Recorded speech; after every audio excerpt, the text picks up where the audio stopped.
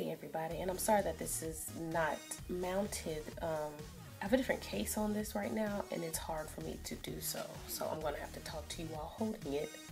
Well, let me get close up. This is today's look.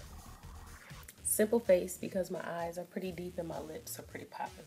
Um, on the face, I use my MAC Mineralized Skin Finish in dark all over, but in the T area, I use my MAC Studio Fix Powder, and it's in C8.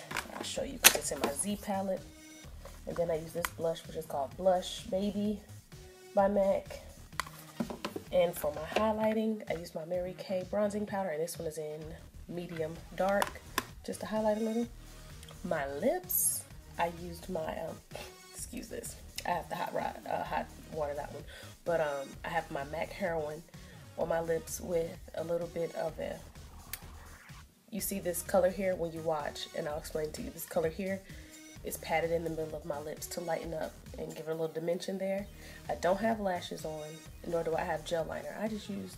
I want to make it a little smokier, a little simpler, and a little quicker because I'm only on lunch break. And my lunch break is over now, but thanks for staying tuned. And, uh, oh, this got my teeth looking white. Hey.